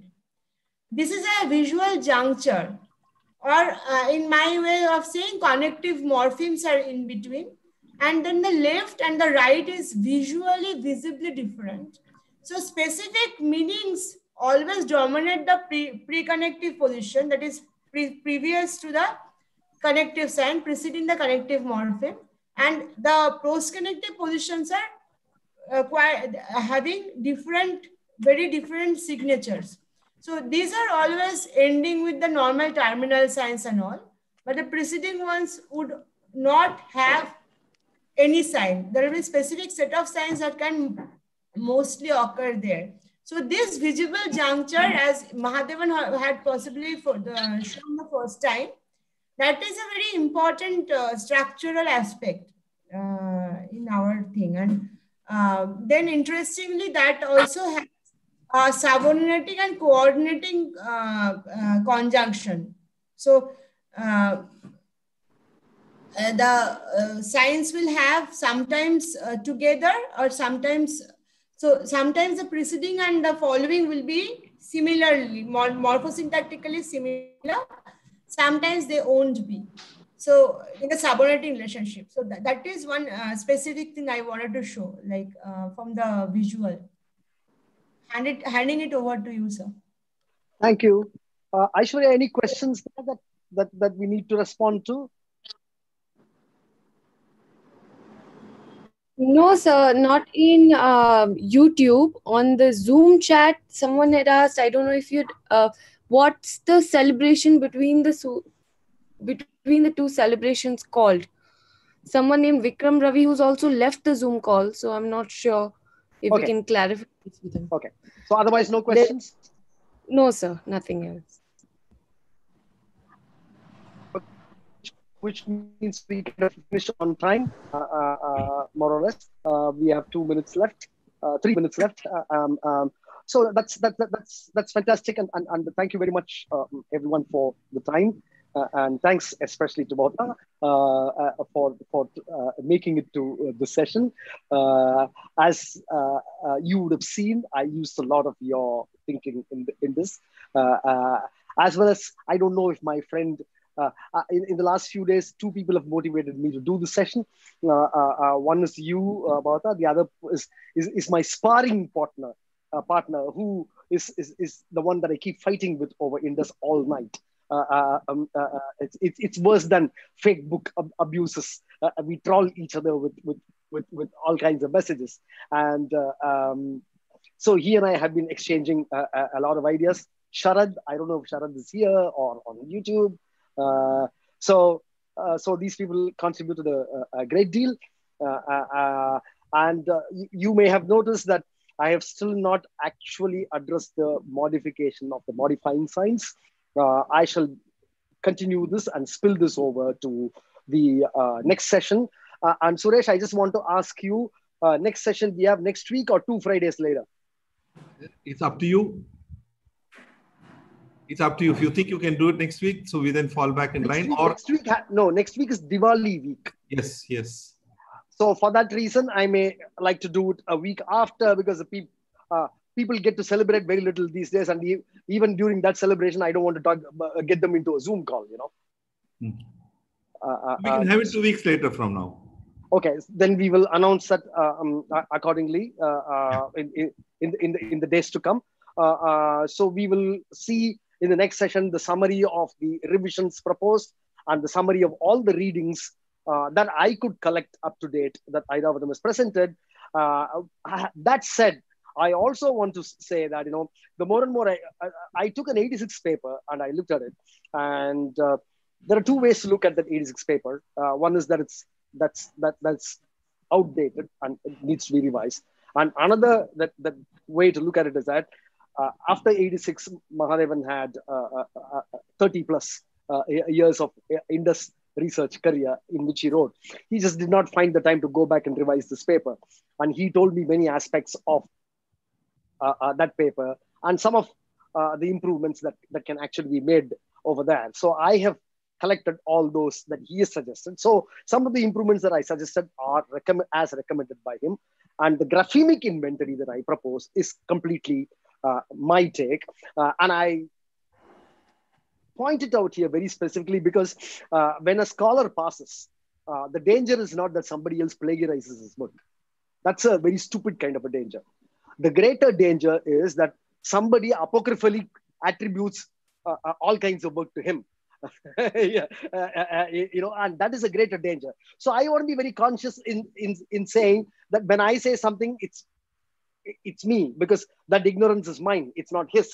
Uh, and when it is his, I want to be very, very clear that it is Iravatham Mahadevan's and as he proposed it.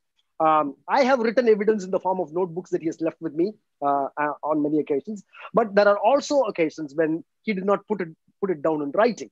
He just simply said it to me. For instance, uh, the last paper that we wrote was the toponyms, the East-West paper, and I uh, when he told me the signs for East and West, my first reaction was, okay, then what happens in North and South? So he said, Mr. Bhaskar, we have to submit this paper this afternoon. Can we proceed? That's all he said. He never he never discussed north and west south after that with me. Now I go back, open his notebook. He has noted down north and south over there. Okay. He wanted to be sure, he wanted to check the citations, he wanted to be absolutely clear, you know, before he would just push it down into the public domain. Uh, so there are private notes like that and private remarks like these, which which which I am accessing and updating uh, as I go, which is really uh, um, the the, the uh, reason for this uh, uh, talk series even. Okay. Thank you. Please enjoy. The, uh, the graphical thing is actually very interesting. So um, I, I really uh, so that that will be a very good addition to this. I shall uh, exchange our, notes with you. I shall definitely exchange. No, no, not only me. So please publish it. That that's yeah, a, that, that's a very interesting approach because um, this four uh, yeah. So that is something people should see more like that. And Bahata, if you can you have it ready, you, your Sumerian and your uh, on the on the on the oh. the pal the ivory thing. Yes, yes. You have a, a, a combination to show. It's just that after having read the paper, it might be it will help to see it together. Uh, no, you're you're talking about the Indus script part. And, like yeah, the, the, Sumerian uh, script also had something similar in uh, no, I I have not yet uh, uh, come down to the script part. It was very. Uh, uh, I wanted to segregate because uh, in this. so from the script, it's very difficult to go to the language. Mm. we can be having very interesting speculation, but because in the ivory thing, the language itself was um, archaeologically very like it is kind of fossilized in the Mesopotamian writings that they're calling it Piru. And uh, the uh, even Hurrian writing, everybody is calling it Piru. So when uh, so many Elamite uh, language that is not directly related to Mesopotamian, like typologically might be, but that is a very different language. So when so many languages are calling, uh, having a similar word, which is very much our word for uh, the same thing. So from there, uh, we have such a seri- uh, such a serious coincidence like that cannot be you know speculative, called speculative. So if I have uh, any script based speculation there, then that uh, dilutes that context. So I have kept that separately. The, the script based, I have some uh, inklings or I have some my own gut feeling so that will be the next one. That will be kept separately. Uh, look, for, look forward to that. Thank you, sir. All right, okay. And uh, your, uh, you, some of your additions were very illuminating. I'll not take any more time, but uh, so even I have told Bede, but very nice. The way you have uh, presented it was also very illuminating. See, I, I, I immediately saw a jeweler's shade card. It's so yes. simple. Uh, uh, yes. Uh, right? Okay. So I string the beads in a particular configuration. I want to describe it. Then I put my yes. description and I print it there, label it. Uh, uh, uh, you know, put a nice little copper tag, um, which which I would hesitate to throw away. Um, you know, that's how I would package it as a merchant. And, and that's a and, very nice packaging actually because I have not I have not talked about um, the gold gold plated part. So that is a interesting possibility uh, yes. that uh, uh, and uh, so i have told that the banded agates are etched the cornelians are etched that so this etching kind of thing that might have that kind of a significance but yes. Uh, this um, this gold capping and uh, this ivory uh, uh, inlaying was a very interesting uh, inclusion to that. If I, if I, with your permission, when I publish that one, uh, I, am going to. Uh, so I, I, with your permission, I'll include that and have you most, most welcome.